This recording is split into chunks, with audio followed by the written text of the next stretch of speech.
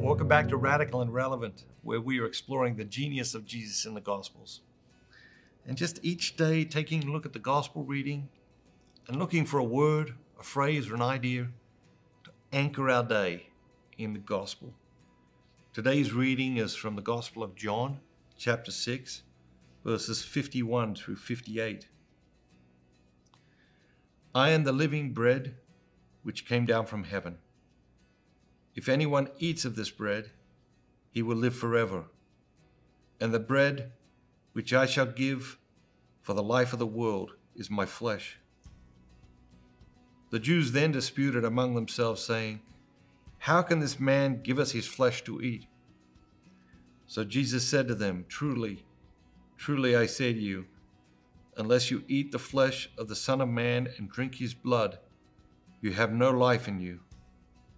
He who eats my flesh and drinks my blood has eternal life, and I will raise him up on the last day. For my flesh is food indeed, and my blood is drink indeed. He who eats my flesh and drinks my blood abides in me, and I in him. As the living Father sent me, and I live because of the Father, so he who eats me will live because of me. This is the bread which came down from heaven, not such as your fathers ate and died.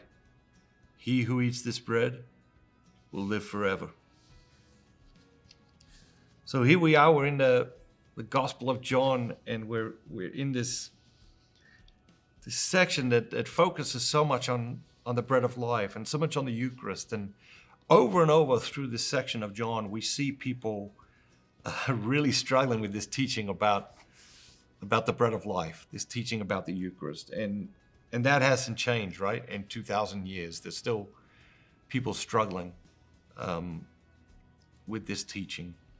But what is the word, or the phrase, or the idea that that jumps out at you uh, today? Uh, the the phrase that jumped out at me is when Jesus says, "I will raise him up." And uh, it goes on, I will raise him up on the last day. But just the phrase, I will raise him up. Uh, Jesus, Jesus wants to raise you up. He wants to raise you up in, um, in ways you can't even begin to imagine. He wants to raise up every aspect of you. He wants to raise up every aspect of your life. He wants to, to take it to a new level. He wants to raise it up. And so as you think about your life today, or you think about your whole person, which aspect of your life or which aspect of your person uh, do you do you want God to raise up right now, today?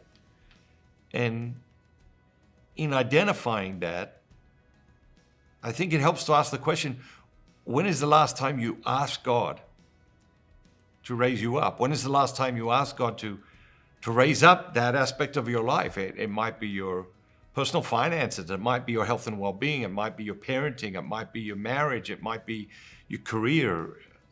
But when is the last time you, you ask God to raise you up in that aspect of your life?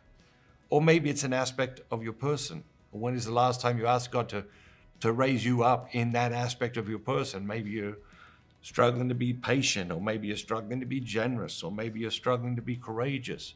When's the last time you asked God to raise you up? Because what we see throughout all four Gospels is an invitation to ask, and is a promise that in asking we will receive. And yet, I find that we don't ask anywhere near enough.